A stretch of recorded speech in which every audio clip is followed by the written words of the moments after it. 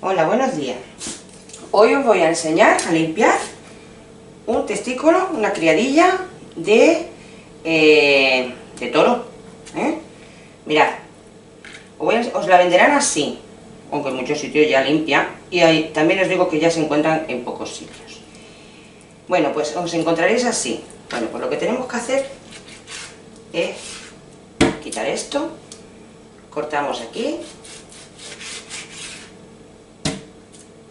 Y yo he visto en sitios que meten el cuchillo, van pelando, pelando, yo voy a enseñar una manera más fácil. Esta primera capa sí, hay que cortarla así, porque es más dura, pero ya, ¿veis?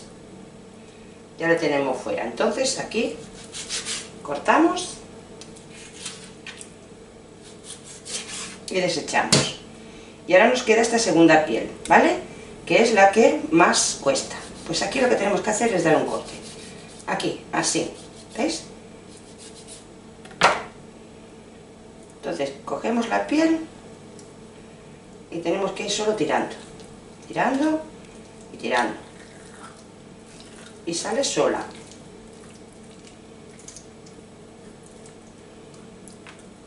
Vamos tirando así de ella.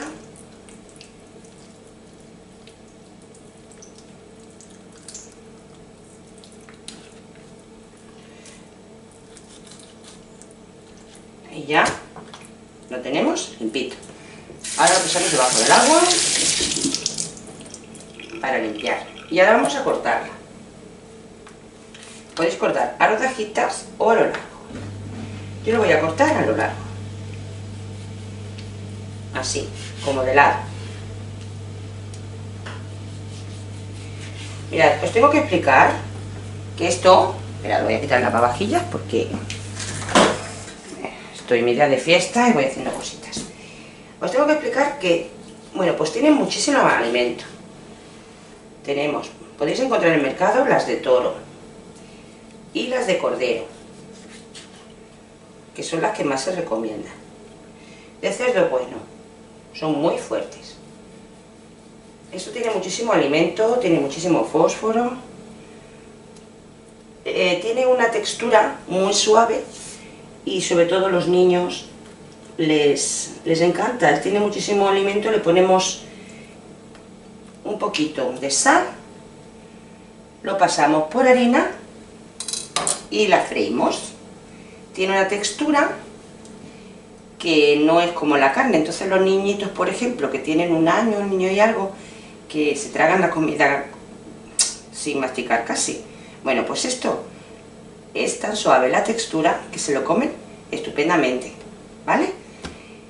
Y nada, solo quería enseñaros eso, cómo se limpia, lo fácil que es, y ya os digo, están muy muy ricas. Esto para los amantes de la casquería os va a ir ideal. Y nada, muchísimas gracias, espero que os haya gustado y hasta la próxima receta. Bueno amigos y amigas, si os ha gustado este vídeo, sobre todo, dadme el dedito para arriba y compartir. Y para cualquier cosa, debajo, aquí en la cajita de información, tenéis mi número de móvil.